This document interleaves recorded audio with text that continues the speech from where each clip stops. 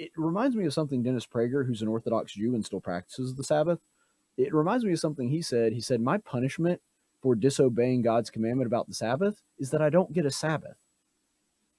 And he's exactly right. And that's how a lot of God's commands work. Our punishment for not doing what God asked is that we don't get the benefit that came with doing what God asked. Hey, fellow tacticians, be sure to like this video and subscribe and ring that little notification bell. That supports this channel's conservative content, which is good for me, good for you, good for America, but really bad for the dark cyber overlords at YouTube. In 1775, the Continental Congress created the Chaplain Corps. Under the command of General George Washington, each soldier was required to attend worship service every Sunday. While other armies advanced on their feet, Washington's troops advanced on their knees. It's time for the Chaplain's Report with Caleb Colquitt on tactics. And welcome back, folks. Thank you so much for being with us here on Tactics. We got the Chaplain's Report coming up. And I wanted to address something that has been in the Bible for a long time. And I do have a pretty good understanding about it now, but it took me a while to get to this point, And it was something that I always thought was kind of bizarre because I think culturally it doesn't really fit with our, our current culture. And so I'm going to try to do a little bit to bring this concept into the modern era. So the issue that I'm talking about, and it does relate to Christmas and the holiday season, and I'm going to get to that in a second. But the thing that always bothered me is it seemed bizarre to me that God had to order people to take a day off. So, for those of you who don't know what I'm talking about, this is one of the commandments. So, if you remember, if you go back into the old law, God actually commanded the children of Israel to have a Sabbath and that's actually where the the word for that day, the seventh day of the week, Saturday, uh, it originally derives from that Shabbat, which would be the the Hebrew pronunciation of it, or the Sabbath. And the way that it worked is that God commanded the children of Israel, it's one of the Ten Commandments that they had to honor the Sabbath day and keep it holy.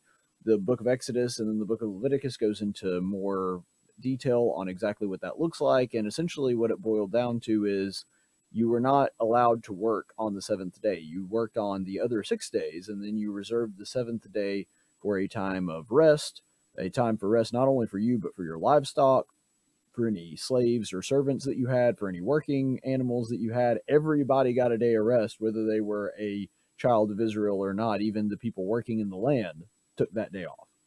And so God mandated a day off for everybody. And if you think about it, it's not that far removed from this society, but the reason I always thought it was bizarre is because I always liked days off and I actually really wanted to take days off. And it seems like the culture around us wants to have a lot of days off. I mean, for Pete's sake, we're talking about people now that are advocating for a legal mandate that companies are only allowed to work you four days a week, like 32 or 36. Uh, yeah, I think it's 32 hours is one of the ones that they're arguing about. And so it may seem a little weird to us in our modern society, the idea that God had to mandate an actual day off on the seventh day that after you've worked for six days, you have to rest. Now, I do want to point out, I'm going to be focusing on the rest aspect of it, but it is important to keep in mind that this Sabbath day that was commanded always happened after the sixth day. And so God expected mankind to work for six days and then take the seventh day off. God wasn't a person that that expected people to just, you know, put in 20, 30 hours a week and then be done with it. Now, if that's all your job demands of you and it's able to afford you a nice living, I mean, I guess that's all right if that's a decision that you want to make. Now, I would want to fill up the rest of that time doing something useful or productive, even if it's just volunteer work that I'm not getting paid for. I mean, you can be doing something good and righteous and productive without getting a paycheck for it. But my point in all of that is there is an expectation from God that we are going to spend six days out of the week working, and the seventh day will be rest. Now, I tend to work a five day work week, and that's fine. But my point is, we're supposed to utilize our time wisely. And then that seventh day was supposed to be reserved for everybody just to sort of take a step back, to reset and to meditate and focus on God and His law and also their relationship with their families as well. Because you have to keep in mind that this commandment came down at a time where starvation was an ever present threat. And that's something that a lot of modern people don't really understand. Like, even the people that are quote unquote poor among us are still some of the wealthiest people in all of human history. They still have an abundance of, of food, much more than people in past generations, especially poor people of past generations, would have had access to. They still have access to a lot of amenities. There's the social safety net and a number of other things. And I'm not saying that they have no struggles or that their life is easy. I don't think that money determines the ease or virtue of a person's life to begin with. But what I am saying is, even our poor people have a hard time going hungry. And so the idea that somebody would not be able to survive because they didn't work those six days is something that's a little bit foreign to us, honestly, in the modern society. But to them, this was an ever present threat. And so, because of that, you had a legitimate reason for being a little bit anxious about where your food was coming from and wanting to go out and work all seven days. You'll notice that one of the things Jesus does in his famous Sermon on the Mount is he talks a lot about this. He says, Look at the lilies of the field. They neither labor nor toil, and yet even Solomon in all his glory was not arrayed in garments as uh, majestic as these. Therefore, maybe you shouldn't worry so much about what you're going to wear. And then talks about the birds and how God feeds them. And he says, essentially, what it all boils down to is that if God is going to provide for you, then you don't have to worry about constantly working and trying to keep yourself alive for the entirety of your life. You can take time to take a step back. And so that really brings me to what the Sabbath was always really intended to do. There are several lessons we could learn from the Sabbath, but I think that the big ones are first of all, your priorities. You see, especially men, I think that women have this too, but they tend to be a lot better about work and uh, personal life balance than men are, just generally speaking. Men especially struggle with this idea of, oh, well, I'm working for my family. I'm providing for my family. Yes, that is a good and virtuous thing. And most men have a desire to be that provider and protector. And that's, that's a good thing. That's a instinct that God put into you. And it's good that you're using it for exactly that purpose. However, this is important. He does also want you to not just provide for the physical needs of your family, but be a leader for your family. And to do that, you kind of have to be there. And that's one of the things that the Sabbath was supposed to teach the men of Israel that ultimately they had a responsibility to their family, not just to make sure that they had full bellies and a roof over their head. That's important too, don't get me wrong.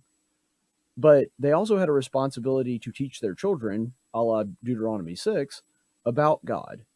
That was their primary purpose, even more important than providing and protecting. They were supposed to teach their children about God, and they were supposed to have a relationship with their children that's a blessing that God gave them and a relationship with their wife as well. Uh, likewise, wives are supposed to have that level of relationship with their children and their husband, and that's why the Sabbath was for them too. Uh, they weren't allowed to prepare elaborate meals or anything. You were actually supposed to cook all the food that you were going to eat over the Sabbath beforehand. And so the women got a day off too. It wasn't just the men, it wasn't just the day laborers. And so the entire community had a day where they all sat back and reset and were able to fellowship with their family, with their neighbors. They were able to take some time to focus on God. And so, really, I think one of the main lessons we can take out of the Sabbath is priority. You actually take time to recognize and to cultivate the relationships, which are really the purpose of you working in the first place. I mean, what good is working to provide for a family that you don't really know?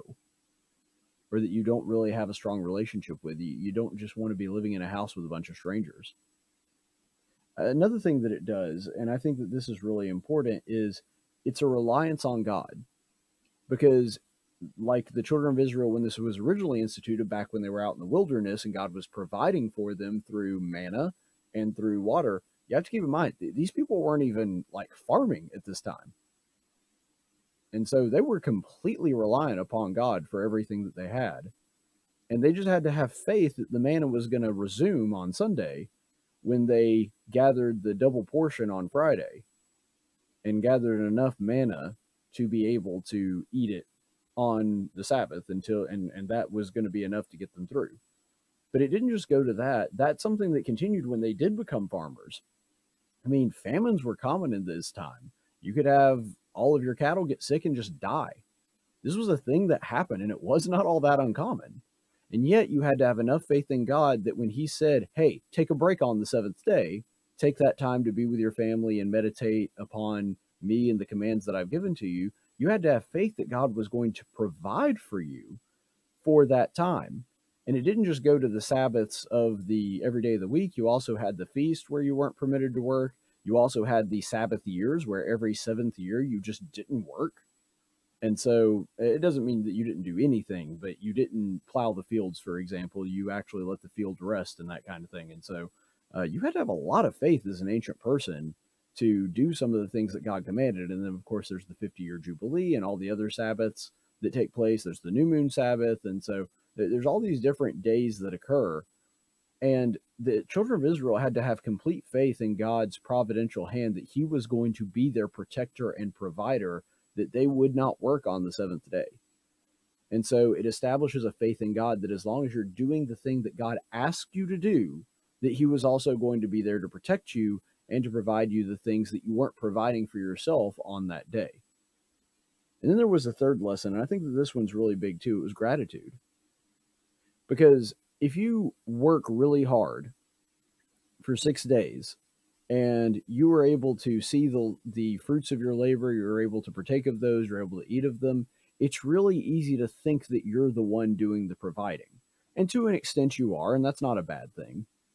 But ultimately, you're supposed to remember that God is the one that's really providing stuff. Because is God providing the the natural order that allows seeds to germinate and livestock to reproduce? Yes, He's doing all of those things. And you didn't matter how good a farmer you were, if God's not causing those things to take place, you're not going to be able to benefit off of that. And in the same way, God's the one that's sending the rain. God is the one that is uh, sending the sunshine. God is doing all of these things to allow you to be able to go out and make gain. God also made you and put the breath in your lungs. That's one of the things that the Torah teaches right off at the origin of man. And so it's important for us to think about these things because when you had to take a day off and not work, and the things that you were provided with, that you made provision for, were provided to you by God, and you had to take time and think about that, then you become a much more grateful person. And I really think that gratitude is the key to happiness because then instead of thinking about how entitled you are and how there's a lot of things out there that you don't have that you think you deserve, instead you become very grateful for the things that you've been given and that makes you much uh, a much happier person because you see yourself as a blessed person instead of a oppressed or set upon person by somebody else. It really changes the way that you view life. And so these are all extremely important things that the Sabbath taught us. Unfortunately, there were some people in the days of Jesus, and I'm sure that they were not the first. Other people, and in fact, we know from the Old Testament history, they are not the first people to misunderstand or misuse the Sabbath. But Jesus is on the Sabbath passing through a grain field, and the Pharisees have this conversation with him. We're going to go to the Gospel of Mark, chapter 2, verses 23 through 28. And it happened that he was talking about Jesus there, and it happened that he was passing through the grain fields on the Sabbath and his disciples began to make their way along picking the heads of grain. The Pharisees were saying to him, Look, why are they doing what is not lawful on the Sabbath? And he said to them, Have you never read what David did when he was indeed hungry, and his companions became hungry? How he entered the house of God in the time of Abiathar, the high priest, and ate the consecrated bread, which is not lawful for anyone to eat except the priest. And he also gave it to those who were with him. Jesus said to them, The Sabbath was made for man, and not man for the Sabbath. Go, the Son of Man is Lord even of the Sabbath.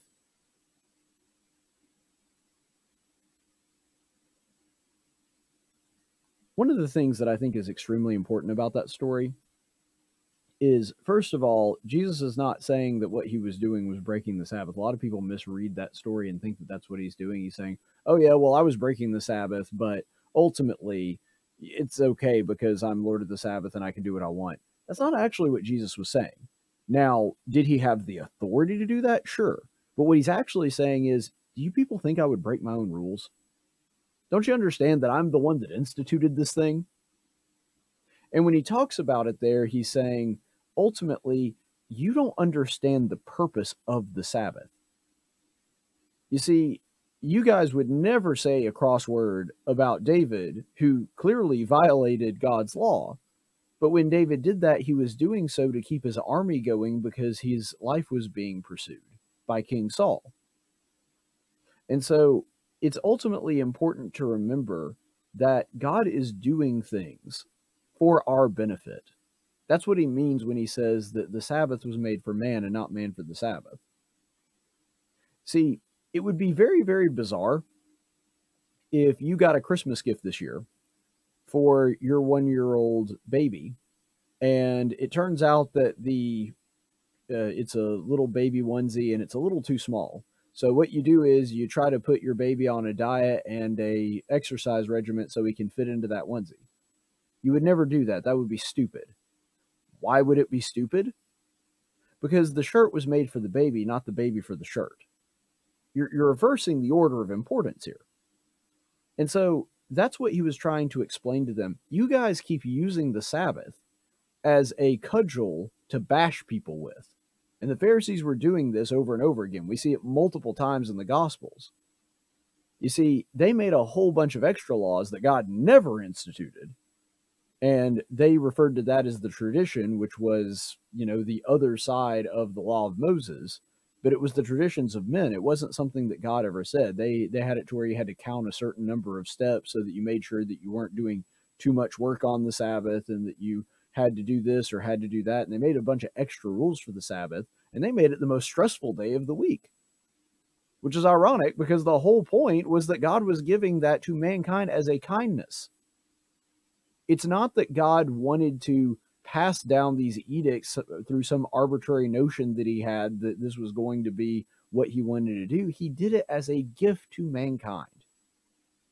It was God giving people that, and it reminds me of something Dennis Prager, who's an Orthodox Jew and still practices the Sabbath, it reminds me of something he said. He said, My punishment for disobeying God's commandment about the Sabbath is that I don't get a Sabbath.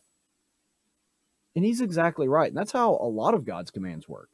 Our punishment for not doing what God asked is that we don't get the benefit that came with doing what God asked. That happens a lot. And that's exactly what happens with the Sabbath this wasn't something that God put over people so that it could be a cloud over their head every week and that they'd have to walk on eggshells so that they made sure that they didn't uh, do any work. He did that as a way to say, hey, take this day, unwind, spend it with your family, enjoy the things that I've provided for you. I'm going to be the one to provide those things. And in return, I also want you to think about your relationship with me and reflect on that for a little bit. See, the Sabbath was always intended as a gift. And as Christians, we're no longer called to adhere to the letter of the law when it comes to the law of Moses. We don't have to, to follow that anymore. The Sabbaths have been done away with. And I, I understand all of that. I, I get that. But the reason that I'm bringing this lesson up right now is because really that's what Christmas should be. You know, some people choose to celebrate Christmas as the birth of Christ, and I certainly don't think, you know, via Romans 14 that there's anything wrong with that. Some Christians choose not to. I think that that's perfectly fine too. As that verse says, each esteems a day, you know, whether he esteems one day higher than the other or not, let him do so to the Lord. So either option, just go with your conscience and whatever, you know, you, come to that conclusion is better for you spiritually, then then do that. That is an occasion where Paul explicitly gives some wiggle room and some freedom in Romans 14. But whether you do that or not, you do need to take this opportunity as a time to be with your family, to reflect, to pray, and be grateful, and to take in all the lessons of the Sabbath. Think of this holiday season as a Sabbath. And I know that some people have to work over Christmas, and I know that that sucks for y'all. And by the way, to our first responders and the people that are uh, keeping the lights on and keeping us all safe on Christmas that have to work on Christmas because of that. The soldiers that are overseas, people that are doing public service on the holidays, God bless you. And, and I appreciate your service. I really do, because that allows all of us to have a Sabbath because you guys are out there making sure that we're safe. And so, you know, whether you're working utilities or, uh, like I said, a, a, police officer or a fireman or paramedics or people working in the hospitals, I know nurses that have to work through the holidays whatever you're doing in that capacity, we certainly appreciate that. And I would like to extend a personal thank you for that. But for everybody that actually does get this time off, this is a really great time to take a step back to be with your entire family because so many people are off work and to be able to fellowship with them and reconnect with them and more importantly with God. Strengthen your relationship with one another so that it can help aid in strengthening your relationship to God. That's what the Sabbath was always intended to do. And so treat this festival that we celebrate as a Sabbath. And I think that there's a lot of good that we can learn from that. When you're thinking about the presents that you've been given or the Christmas dinner that you're about to enjoy or just being around your family, be thankful for that because there's a lot of people that don't have that. And I just wanted everybody to really think about that and to take this opportunity. Maybe we should take some lessons from the Sabbath and apply some of those lessons and those teachings and some of the wisdom that God gave the Israelites and apply them to times where we get a chance to take a breather and take a break from our busy lives and really just get to enjoy that time with our family and our God. You know, I remember Gad Saad said that there are four ingredients for happiness. Work is one of them, and so that's kind of the opposite of what we're talking about now. But he does say, you know, a Sabbath is only a rest. You only get to rest if you worked. If you didn't work, you're not really resting. And then the other three, he said, were friends, family, and God. And if you do all four of those things on a regular basis, you will be happy pretty much no matter what. And he's probably right. So, you know, as we're going through this holiday season, however you celebrate the season, think of it as a Sabbath and just take that time to really enjoy it, reconnect with God, re- read some Bible together, do a devotional together, find ways to really connect with one another and and do so with the explicit purpose of trying to better not only your relationship with God, but those of everybody around you as well. Enjoy this season. Merry Christmas happy Festivus for the rest of us, of course. And until next time, stay the course, friends. Hey, thanks for watching this video. If you made it all the way to the end, it must mean you like what you saw and should like and subscribe. That or you were just super bored, wound up here by accident, and were too lazy to turn the video off before now. Now, I hope you're the first type of person, but if you happen to be the second type, doesn't really matter to me. I got a view out of you either way. Huh. Profiting off of the laziness of others. This must be what it feels like to be a Democrat.